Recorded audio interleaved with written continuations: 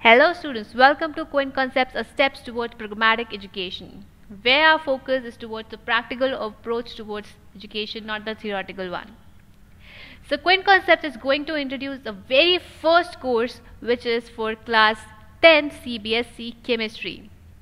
So soon we are going to introduce the course and start uploading the chapter wise videos. So in this video we are going to discuss the syllabus of chemistry and then we will discuss about the preparation strategy. Like what is the appropriate and the right strategy that you should like manage and you should apply when you are studying. Right? So before that just discuss the entire syllabus of science right and the weightage. So the very first unit is chemical substances, nature and behavior. The weightage is 25 marks the second unit is World of Living and the weightage is 23 marks. And the third unit is Natural Phenomena. The weightage is 12 marks. The fourth unit is Effects of Current and the weightage is 13 marks. And the fifth unit is Natural Resources. The weightage is 7 marks. So overall the marks is 80, right? The overall weightage is 80 marks, right? However, there are some extra marks which is 20 marks that is of your internal assessment out of which you will get something and that is something that will be uh, assessed on the basis of your school performance on the basis of school unit test or that depends on school to school kind of uh, you know rules and regulations. So some teachers might take more than one test or some teachers might take only one test. Then if they are taking more than one test they might take their you know average and then calculate it so basically the internal assessment mark would be out of 20 the overall marks that you are going to give examination for would be of 80 marks and the overall marks will be 800 right? So that would be the so that may vary according to the school but uh, the basic and the fundamental like marks breakup is like this right? All right. So in this video session we are going to cover this unit which is chemical substances, nature and behavior. Right?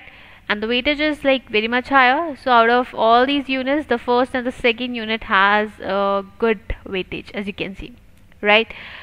So what we are going to cover in this unit, let's just uh, check so this unit is divided into five chapters. The very first chapter is chemical reactions and equations that we are going to take it very first. And then the second chapter is acids, base and salts that we will cover the properties of them and then their uses as well.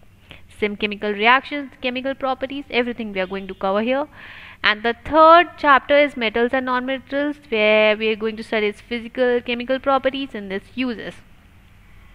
And the fourth chapter is carbon compounds where we are going to study the versatile nature of carbon, the bonding in carbon and the compounds that are formed in car carbon and their reasons, right? And after that the fifth chapter that we'll cover is periodic classification of elements. So every chapter will be like of different videos like the number of videos will vary as per the requirement of the chapter right okay so that will be the five chapters that we are going to cover but this is not the end of the story for the student who are also preparing for some competitive exams like KVPY, Olympiads or some other foundation courses, right? For them, you have to actually read and study like extra topics. For example, advanced knowledge about periodic table. So there are some terms and then some trends that are not covered in NCERT and CBSE that you have to cover like extra and, and you should learn all those terms and trends.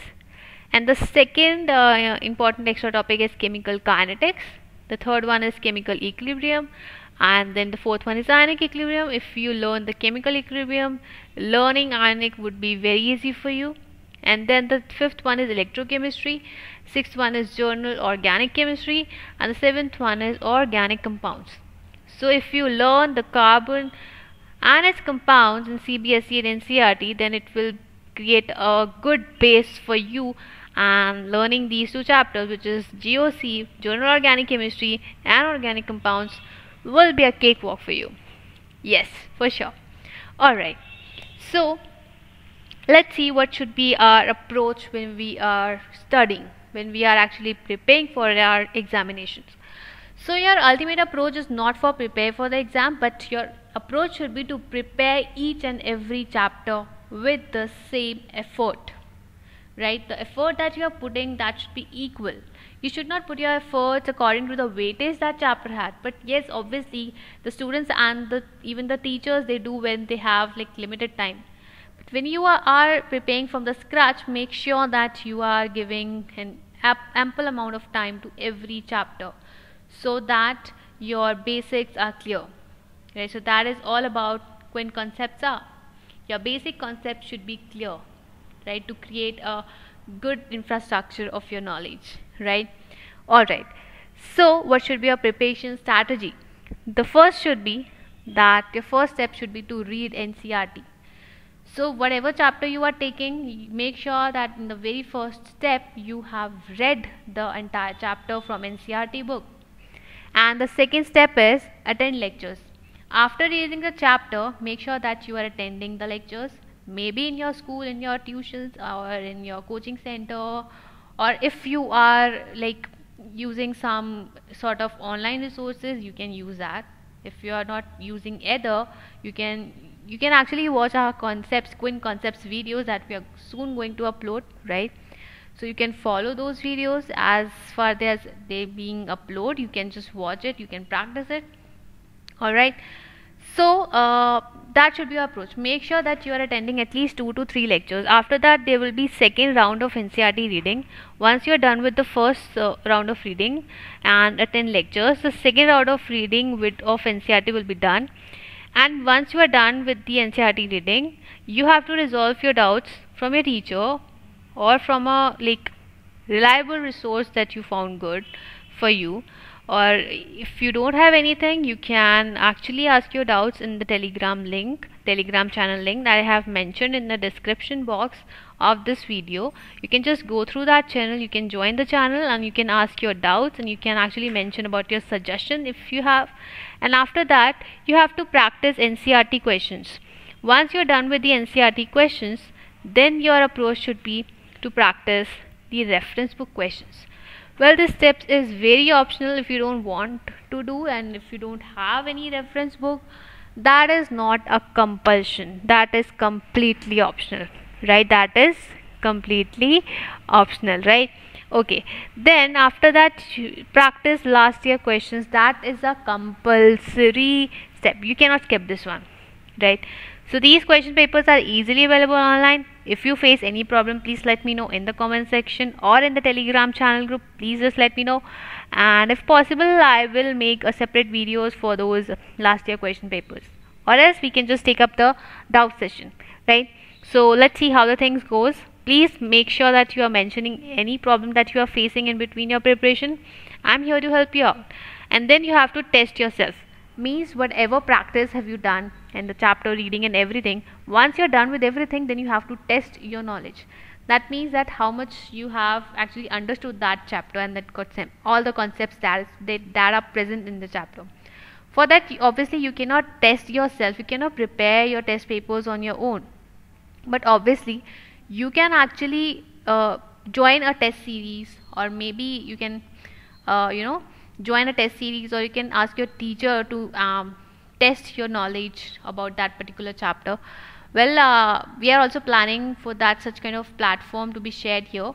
I'm going to like i'm going to actually soon share about those things. So let me just upload the videos one by one. We will discuss about these things later uh, for sure.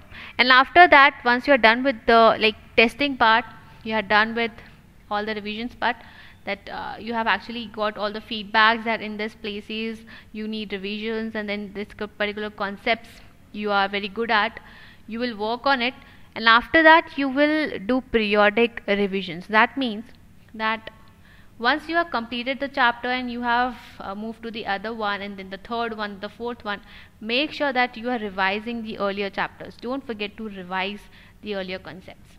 Right uh, make sure that you're revising in a like in a week or two or a three not more than that don't delay that much make sure that you are revising the concepts and the chapters periodically right well so these were the my suggestions for the preparation strategy I hope that you have enjoyed this session. You have gathered useful information from it. And please don't forget to subscribe our channel, which is Quoin Concepts, and share this video as much as you can so that your classmates and your friends will also get benefits from this video that are that we are going to soon start all the class 10th chemistry videos CBSE and competitive exams. So please share the video as much as you can. And the steps towards pragmatic education don't forget that we are sharing a good platform to share a knowledge which is has a practical approach not the theoretical one. Right so if you want to see this video and watch this video in Hindi there is a separate link in the description. Please go through it.